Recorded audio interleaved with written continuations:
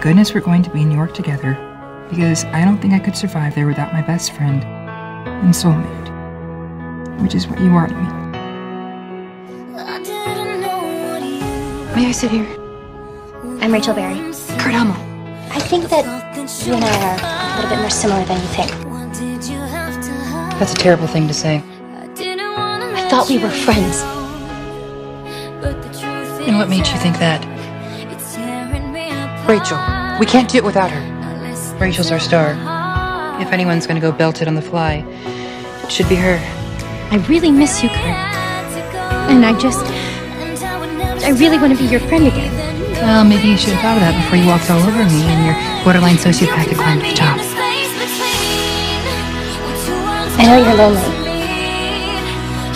We're gonna win nationals this year. And you know how we're gonna do that? Because we have you. It's true. That's 12 people who love you just for being exactly the way that you are. I know you're lonely, but you're not alone.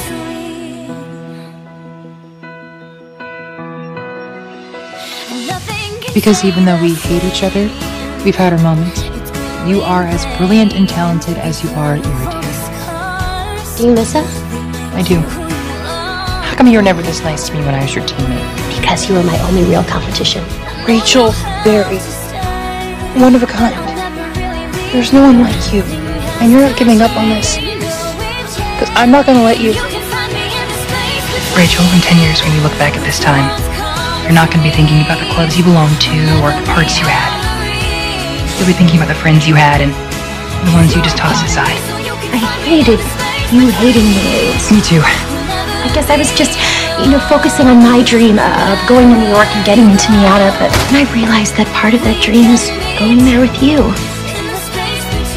I'm not on Carmen's side. I'm on your side. You're afraid. Screw you, Rachel. We are friends. I'm not gonna let something like this break us up. He knows we're here. He does.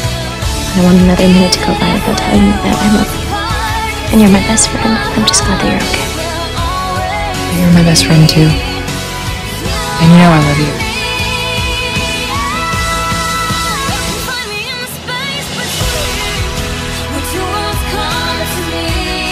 All right, I'm going to be sitting right next to you. and We're going to be holding hands and laughing and applauding, and you're never, ever going to let me see us sweat.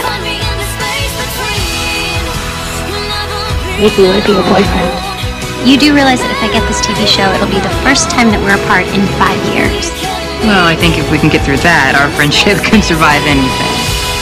I love her despite all her crazy, and I think that you'd be lucky to marry her. I love you forever. And Susan Bradley. I love you, Rachel Berry. I love you too.